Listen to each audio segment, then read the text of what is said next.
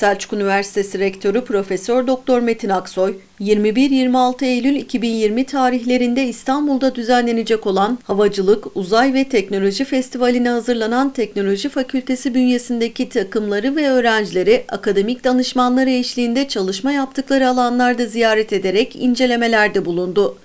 Hocam TX'i zaten bütün araçla taradığımız için yani dikey kalkış yapabiliyoruz aynı zamanda. Serbest kategoride olduğu için.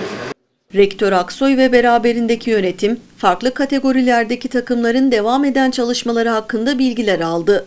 genel tasarımlarımızı göstermek istiyorum. Kapanmış haliyle, açılmış haliyle utanmasından bu şekilde çalışacağım. Türkiye'nin geleceği açısından genç beyinlere ihtiyacının olduğunu söyleyen Profesör Doktor Aksoy, gençlerin çaba ve gayretleriyle ülkenin daha ileri düzeylere ulaşacağına inandığını ifade etti. Aksoy, üniversite yönetimi olarak öğrenci takımlarının her zaman yanında olduklarını aktardı. Sizlerin çalışmaları, gayretleri Selçuk Üniversitesi'nin başarısı olarak geri dönecek. Biz her türlü desteği vermeye hazırız.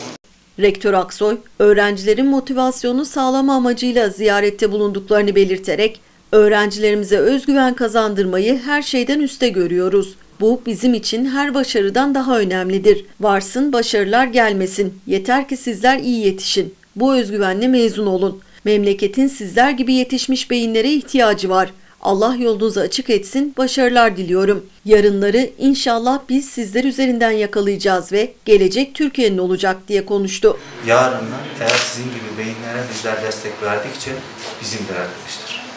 Yarınları biz sizler üzerinden inşallah yakalayacağız ve gelecek Türkiye'nin olacak. Selçuk Üniversitesi'nin belirli kültür ve kimliğe sahip olduğunu anlatan Profesör Doktor Aksoy, üniversitenin bölgede aşı çalışmalarından teknofest çalışmalarına kadar birçok alanda bilim ve araştırma üssü haline gelmeye başladığını sözlerine ekledi.